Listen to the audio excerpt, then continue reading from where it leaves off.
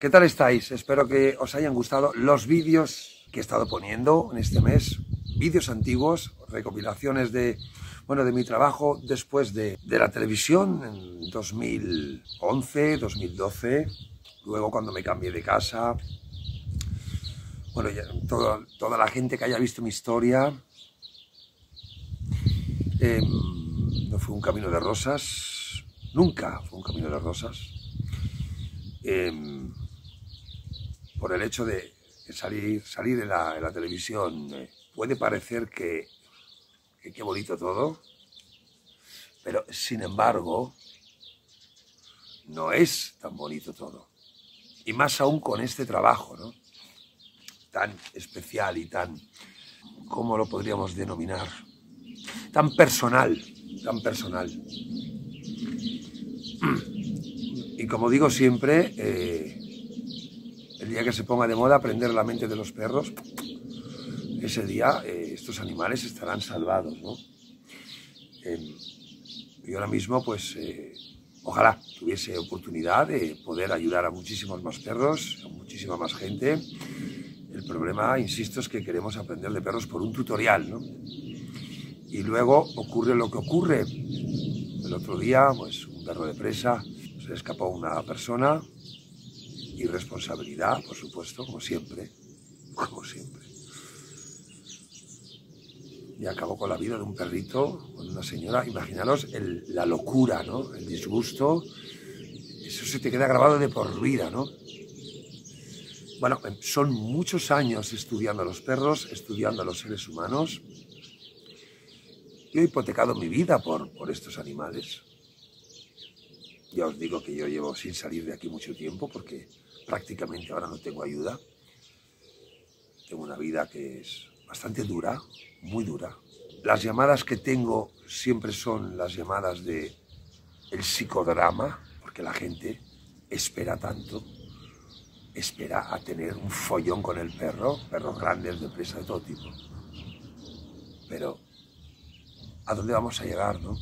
Y bueno, eh, quería hablar un poco de, de Frank Cuesta, que yo le llevo siguiendo desde el desde el principio. Él empezó casi a la par que conmigo en Mediaset, como Fran de la Jungla. Luego ya tuve la oportunidad de irse a Dimax y estuvo 10 años.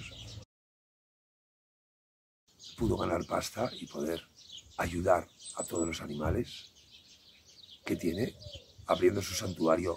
Y me acuerdo hasta de los primeros vídeos que hizo que tiraba grillos y puso unas pagodas esos lagartitos tan bonitos y bueno, como dice él, si no hay demanda no hay negocio, ¿no? Pero mm, bueno, todos los animales que rescata, les sigo siempre en su canal, todos los, los animalitos, los que, que está salvando la vida, ahora, ahora tiene un montón de slow loris, que es una auténtica locura. El momento que él dice que, uf, que está cansado, ¿no? Pues imaginaros yo,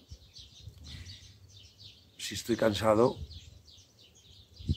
que todo esto lo he hecho apenas casi sin dinero hipotecando mi vida por los perros, por estos animales. ¿no? Ojalá hubiera tenido yo la suerte de, de, Frank, ¿no? de haber cogido dinero bueno y haber podido pues, hacer muchas más cosas. Y por supuesto que las voy a hacer, ¿no? porque voy a luchar por estos animales toda mi vida, ¿no? Sobre todo concienciar que para tener un perro hay que aprender de perros desde el principio. Eh, hay 5 millones de abandonos al año, ¿no? Muchísimos, muchísimos millones y ya más de la mitad son de raza, perros de raza. Las llamadas que yo tengo son un auténtico melodrama, son llamadas de, de perros que nos muerden, muchísimos, desde pequeños hasta grandes. ¿Por qué ocurre? Bueno, porque los perros se hacen con el mando de, de la casa, ni más ni menos, como y como la corriente que hay sobre los perros es la que es, pues, eh, y es un tema muy personal, pues eh, ocurre lo que ocurre. Primero es mi hijo y luego un cacho de carne eh, con ojos. No paro de repetirlo. Bueno, ¿cuál es el mensaje que quiero dar? ¿Cuál es el mensaje que, que doy siempre, no? En este vídeo así tan personal. Hola, nene, hola eh, que todo el mundo quiere un perro. Todo el mundo quiere perros. España el país a la cabeza donde más perros hay y donde más abandonos hay. Los perros eh, delatan una sociedad eh, desquiciada, caprichosa, y luego el conflicto para estos animales de eh, hasta que no tengo problemas con el perro, no te voy a llamar, como si yo fuera el arreglaperros, como dice mi amigo Sergio. Tú eres el arreglaperros. Yo no arreglo perros, porque a los perros no les pasa nada. Y lo triste es que después de miles de años con nosotros, terminan en la puñetera perrera, en la protectora, están las protectoras llenas. Entonces, eh, hay que ir a por el perfil de las personas que no quieren aprender de perros. Es que aunque tengas un perro sumiso, hay que aprender también de perros porque ellos tienen un lenguaje y unos códigos que hay que entender. No que si tengo problemas te llamo, que ese es el problema para los perros, porque cuando ya me llamáis con el melodrama, entonces es un auténtico pifostio. Oye, estamos grabando. Entonces, las llamadas que tengo son eh, una auténtica locura. Y luego, evidentemente, ay, es que no tengo dinero. Ah, Eso sí, perros comprados, ¿no? Y luego, evidentemente, queremos el robot, queremos el muñequito, el capricho y que tenga un botón de encendido y otro de apagado. ¿sabéis cuántos años llevo dedicándome a esto? ¿Sabéis cuántos clientes han pasado por mis manos? Y siguen siendo las mismas corrientes que el adiestramiento este de ahora, sin sentido, desnaturalizando a los animales, que al final es lo mismo que se hace en los circos crear movimientos y pensamos que porque haga eh, movimientos eh, durante todo el día, sienta tú, no sé cuánto, que es psicología humana trasladada, bueno, a un perro, psicología humana, bueno, psicología humana, es que ni psicología humana, es, yo qué sé, circo, ¿no? Porque el adiestramiento no tiene nada que ver con la naturaleza del perro, que quede claro, ¿eh? que quede claro. No, es que los perros son ya animales modernos, no, los perros son perros, siguen mordiendo. No, es que tiene un problema, no, no tiene ningún problema. El problema es que su humano no aprendió los códigos de los animales, del depredador, ni entiende el genotipo del temperamento, ni entiende cómo hay que reprimir. Pues reprimir no, no me gusta ese verbo, ¿no? Eh, controlar el instinto. Por ejemplo, eh, yo cuando veo a Frank, que es la hostia, en sus vídeos. Frank, un abrazo, tío. Eh, no sé cómo localizarte, ojalá pudiéramos un día hacer un directo y hablar sobre esto, porque es una puta locura. Eh, vamos, a mí no me llama nadie con un cachorro, rarísimo, sí, una o dos veces al mes. Ay, perdón, una o dos veces al año. Quiero aprender desde el principio para no tener follón con el perro de mayor. Eso sería lo lógico y lo normal. Tú ves a Frank y utiliza la ley de la intencionalidad, del convencimiento, además de entender el lenguaje corporal de todos los animales, que es la hostia. Es como le siguen las nutrias, las capibaras, las cabras, los suricatos, cómo controla a, los loros. Bueno, yo estoy viendo los vídeos de Frank, que aprendo muchísimo también de él, desde, que, desde sus principios. Vamos, tenía a Caca la, la primera cacatúa, la primera blanca, que se le murió el pobrecito ahí, ahí se le murió la pobrecita bichita, ¿no? Que tuvo un accidente, creo.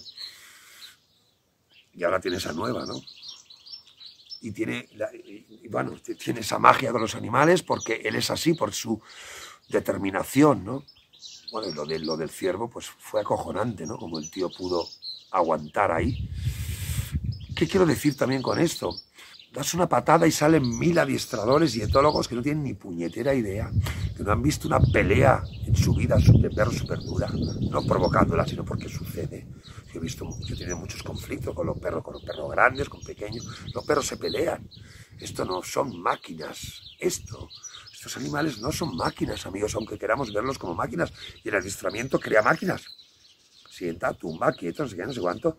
Punto. Es que yo también he hecho Mundo Ring Suchun, Gekor, Hipo. He hecho todo esto también. ¿De qué me contáis? Hasta que al final me di cuenta que quería tener un vínculo con el perro natural, entendiendo su lenguaje real, porque el adiestramiento no es su lenguaje real. No lo es. No lo es. Aquí están todos eh, tranquilitos. Hay Pimpinela, aquí están todos. Hola. Hola.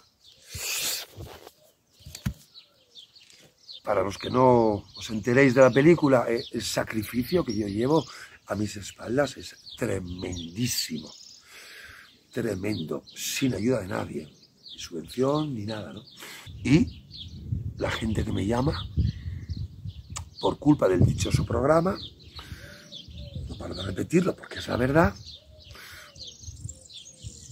pues es como si yo fuera ladino y utilizase técnicas. Yo no tengo ninguna técnica, ningún método. Yo aprendí a comunicarme con los perros y a saber lo que realmente necesitan y cómo darles ese vínculo de confianza a través de ser el capitán del barco, como hace Frank con todos los animales, es el capitán del barco. Y utiliza la ley de la intencionalidad de una manera increíble. O él tiene casi telepatía con los, tiene telepatía con los animales. Telepatía me refiero a que sabe en su estado de ánimo, que es el perfecto, ¿no? Y cuando se cabrea, y cuando, y cuando está más juguetón, lo dice en un, en un vídeo, ¿no? Que está en, el, en la, la balsa esa que tiene, en la charca, en el laguito que tiene, y estaba cabreado uno de los vídeos de hace un tiempo, y dice, mira, estoy súper cabreado, ¿veis cómo las capibaras, los bichos no se me acercan? Porque notan que estoy irritado. ¿Por qué? Porque los animales tienen millones de receptores olfativos que pueden detectar tu estado de ánimo, que es lo que ellos se basan. El perro, todos los animales no saben lo que piensas, sienten lo que piensas. A veces se nos mete ya la cabeza. Entonces, a mí me encantaría que quisieras aprender de perros, poder hacer masterclass. He hecho muchas masterclass, siempre las pongo en Instagram, en los shorts pero es que el mundo del perro está totalmente, ¿cómo lo, cómo lo podemos decir? Roto, roto, roto. Hay demasiados perros en demasiadas malas manos. Es lo que hay, millones de perros abandonados. Las protectoras a rebosar. ¿Cómo se para esto? Sabiendo quién tiene los perros y quien, quien no esté capacitado para tener perros, pues no los podía tener porque al final van a terminar en la puñetera protectora, que están haciendo una labor fantástica, ¿no? Quien lo haga bien. Que también mucha gente de las protectoras que están ahí, pues deberían de aprender también un poquito de psicología canina. No etología de ahora, esta que no se entiende una mierda, de lo, no sé ni lo que dicen.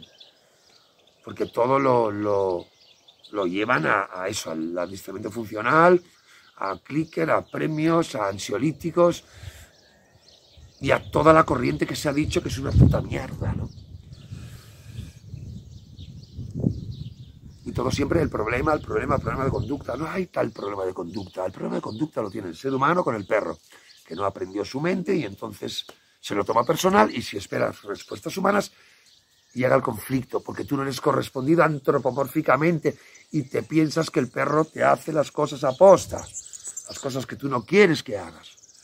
Y estos adiestradores que no han visto un perro en su vida, hay muchos que no tienen ni perro. Se hacen un curso por ahí del CCC, cursos carísimos que son una auténtica pantomima, todos basados en el Pavlov este, en Skinner, y en tres tonterías que, son cosas ínfimas comparado con todo lo que se aprende aquí, que es la etología real de campo de evidencia observable. ¿Cuándo se acabará esto? Cuando la gente se lo tome en serio y sea responsable.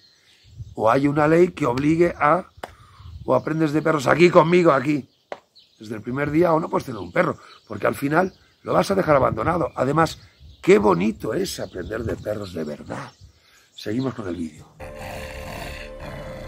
Vale.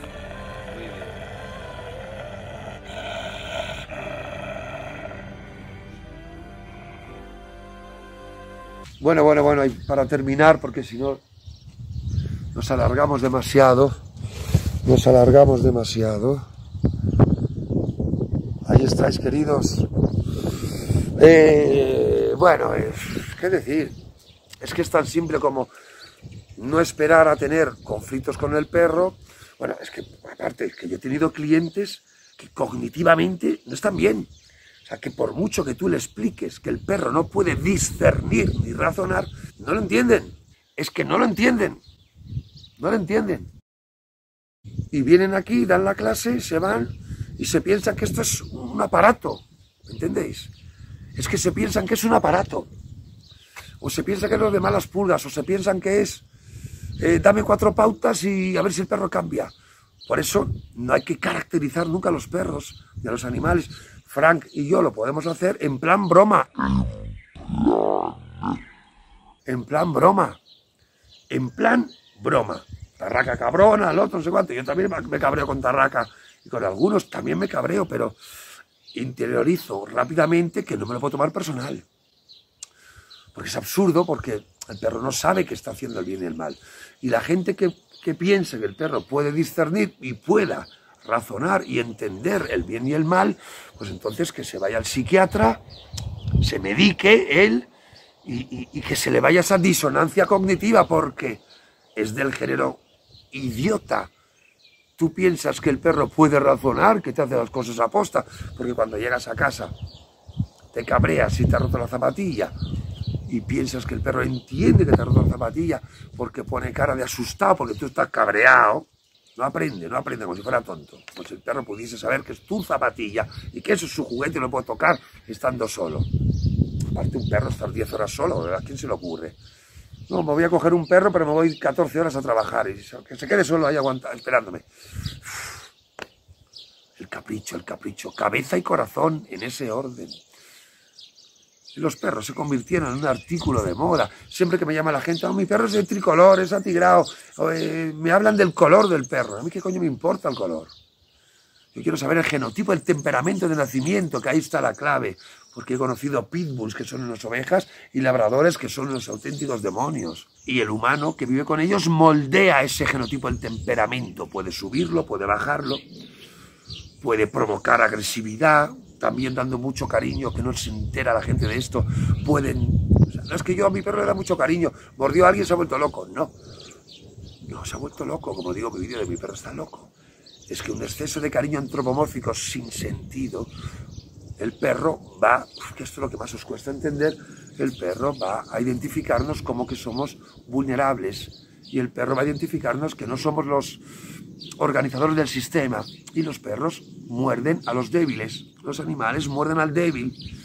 No tienen sentimientos humanos, capacidad de, discernir. No es que se ha vuelto loco, no. Es que usted no aprendió a controlar los instintos depredadores y jerárquicos del animal, que es lo que se aprende aquí. A controlar los instintos depredadores y jerárquicos en la medida de lo posible, con respecto a su especie. Dejándoles tranquilos, pero no aumentando instintos que no queremos, como instinto de, caza. Por eso eh, la gente que tiene border collies o perros con instinto de caza potente, no de un pointer, no, border collie está cazando, está simulando la caza. Lo que no se puede hacer es darle más estímulos de caza, como dicen por ahí los eruditos. Si tengo un border collie, lo que menos hago es incitarle a que cace. Es que si no lo haces, lo va a hacer después fuera. Pues no, al revés. Yo corto, suprimo, recorto el instinto de perseguir, que yo he tenido también border collies y, pastor vasco, Hanna, ¿qué coño me cuentas? Es que si no haces ejercicios especiales para border collie, no existen ejercicios especiales de border collie, ignorantes. Yo puedo tener un border collie igual que ellos. Puede tener un impulso de percepción, porque lleva años trabajando con la vista, el anclaje de ojos dichoso que tanto digo, que eso es lo que se practica el adiestramiento. No se acaba nunca esto, es infinito de explicar, pero es tan simple como que organizar bien los sentidos en orden, no ojos primero, que es lo que hace que el perro salga a depredar o los perros que tienen mucho miedo tengan mucho miedo a la, a la hora de salir a la calle. El día que se ponga de moda aprender de perros, de verdad, ese día estos animales estarán salvados. Y saber en qué manos están, porque hay mucha gente que está mal de la cabeza, hay mucho psicópata, y hay mucho ignorante, y hay mucha persona que está muy triste con el perro, que también le transmite una mala onda. Vamos terminando. Muy bien, vamos ahí. Al suelo. Abajo, abajo, abajo ahí. Muy bien, vamos ahí. Vamos. Al final, amigos, es, es largo y tendido, ¿verdad? Es que es un tema peliagudo. ¿Cómo se resuelve todo esto? Aprendiendo de perros, punto. No, es que cuando tenga problemas te llamo. Ese es el problema para estos pobres animales. Ese es el problema. Ah, por cierto, yo estoy en mi casa, yo soy rockero, estoy con mi gorra, con mis pelos. Hay gente que aún no se da cuenta que yo no voy de peluquería ni vestido de televisión en, todos los días. O sea, de la televisión vas de peluquería, vas vestido, es un coñazo. Claro, Frank, como iba con sus cosas, pues le han identificado a ir con su ropa. A mí, como me visteis súper pijo ahí en la tele, bueno, más o menos, pues parece que tengo que ir vestido así. Yo soy rockero, yo estoy en mi casa, ya han pasado muchos años, y voy como, normal, me sale normal. Segundo te tenga que ir, o tal lo que sea. No he sido mote. ¿Qué coño me cuentas? Que claro, la gente se ha quedado anclada en malas pulgas y ya no, no, es que no sale de ahí. Por eso os digo que, para terminar el vídeo, que amigos, que esto es muy fácil. Como dice Frank, si no hay demanda no hay negocio. No, hay negocio. Pues esto es lo mismo. Hay demasiados, demasiados perros en demasiadas malas manos. El programa que dice que cuando tengas problemas me llamas. Los adiestramiento, que si problema de conducta, que si ansiolíticos, que si etólogos por aquí que no tienen ni puta idea, haciendo ejercicios absurdos que no sirven absolutamente para nada, teniendo las mismas corrientes que si saco al perro a pasear, que si da igual que sacas al perro a pasear 14 horas.